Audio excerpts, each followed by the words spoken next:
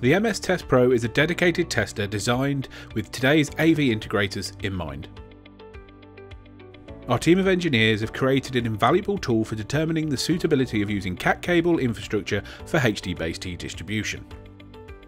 Most CAT cable infrastructures are qualified using an IP tester, a staple tool for most integrators. However, this type of tool will only give you an indication for the cable's suitability for use with HD-Base-T.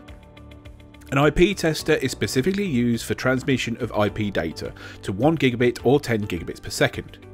Because this type of data is packet sized, it can be resent if not received. HD-Base-T uses PAM16 to pass the data in a live stream format.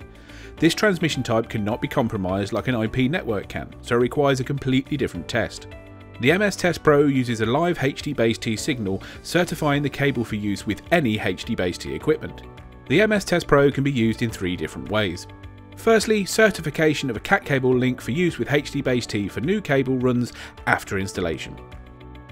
Second is viewing the live performance data of a HD-Base-T signal across the link, a great tool for qualifying links post-installation. And lastly, for checking a HD-Base-T link over an extended period of time to highlight any intermittent issues if troubleshooting. The MS Test Pro is an indispensable tool for those that are regularly using HD-Base-T within their installations.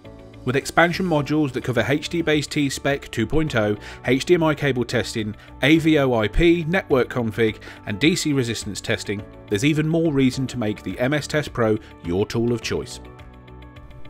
M Solutions, designed by professionals for professionals.